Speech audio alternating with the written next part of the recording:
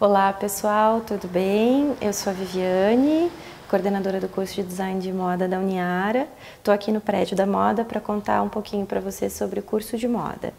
A, nossa grade contempla disciplinas uh, que atendem às necessidades mercadológicas, é, como desenvolvimento de produtos, semiótica, gestão, economia, empreendedorismo, comportamento e consumo, materiais e processos, modelagem, estudo da cor, forma e harmonia.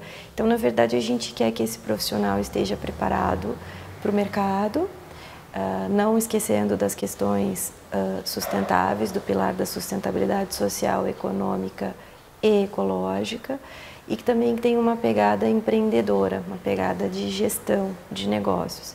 Então, você pode é, estudar, por exemplo, visual merchandising, que é a parte de vitrine, a parte de é, direcionamento, exposição e arrumação de uma área de vendas, por exemplo, e pode se tornar um profissional de VM, de visual merchandising.